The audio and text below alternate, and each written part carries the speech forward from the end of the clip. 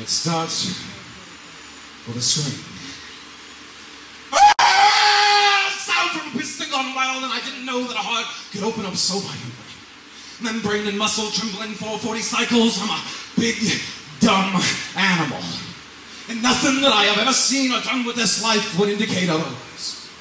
And it started down deeper, yell rising from the pit of my stomach and coated in viscous yellow echoing over 260 square feet of lungs and dropping open the floodgates with sound. I've been flooded by the lies and the misconceptions of all the other big dumb animals. And there's Brando in his cave waiting for the apocalypse to come. The neck half opened, you can see the separation of the meat. It's fresh and it's red and it's newly exposed to the air and the oxygen and even the insides of big dumb animals like us ain't supposed to be showing for the bone while we're still alive. But this is the nature of revelation. You don't get to ease into it gentle like, dipping your toe into the blood to see how cold it is. It's cold.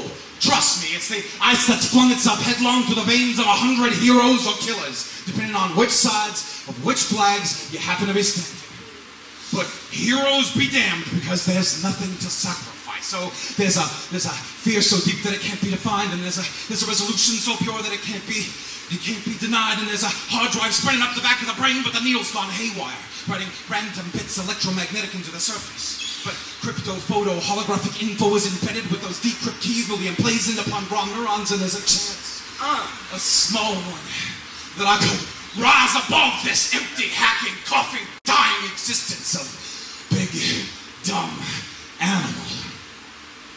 And where it starts with a scream, it ends when the steam has run out, when the engine is seized in rust, when the eyes have shut to better see the inner turmoil of my voice gone to rasping whispers with the telling of thread-worn memories.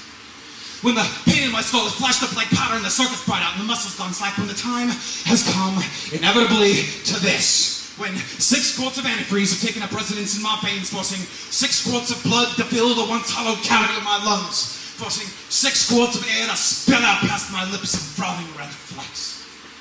And I'm trembling, trembling, rising above that little sea with the notes of a new song vomited out in oxygen-rich red. Uh-huh. And for the first time, I hear music again.